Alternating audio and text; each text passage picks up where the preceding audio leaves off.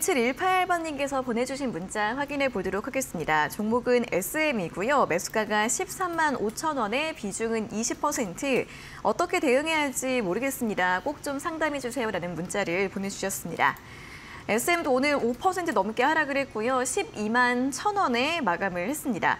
어, 오늘 이제 종가가 또 많이 하락을 했, 던 부분이고 이제 거의 또 2개월 만에 최저치까지 좀 밀린 상황인데 어, SM 같은 경우에는 3월 달부터 꾸준하게 상승 추세를 이어왔다가 이제 지난달 중순부터 조정이 좀 나오고 있는 상황이고요. 어, 매수가도 이제 역시 최근에 좀 고점 부근이기 때문에 만약에 또 조정이 이어진다면 부담이 되실 수 있는 그런 구간인 것 같은데요.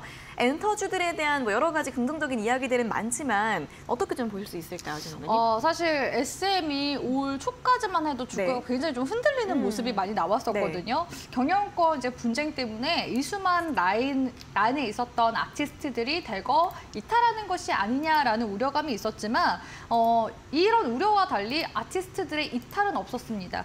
어, 또한 신인 아티스트들이 계속 좀 연달아서 또 성공하고 있는 모습들이 나와주고 있어서 기대치를 계속해서 충족시키는 그런 관련 이슈들이 또 나와주고 있거든요. 그렇기 때문에 SM이 장이 흔들릴 때도 지금 정도로 좀 선방을 하는 게 아닌가라는 생각이 들고요.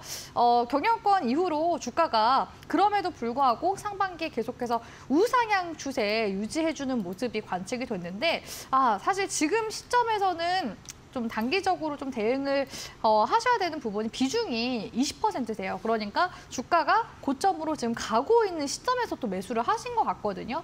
지금 구간이 손실이 그렇게 크지가 않으시기 때문에 어, 현재 시장이 좀 많이 흔들려서 주가가 조정을 좀 더 준다면은 조정폭이 조금 더 크게 나올 가능성이 있습니다.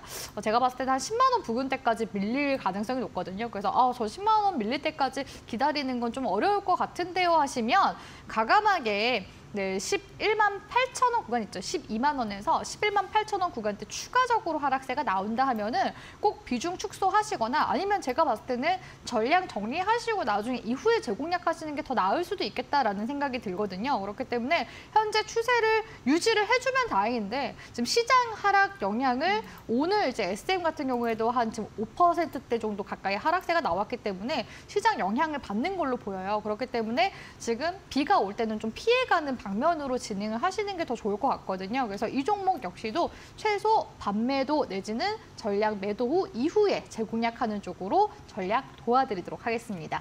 네, 역시나 마찬가지로 시장이 지금 불안한 상태이고 또 매수가가 높으신 편에 가깝기 때문에 일단은 비중 절반 정도 축소로 해보자는 전략 제시해 드렸으니까요. 참고해 보시면 좋겠습니다.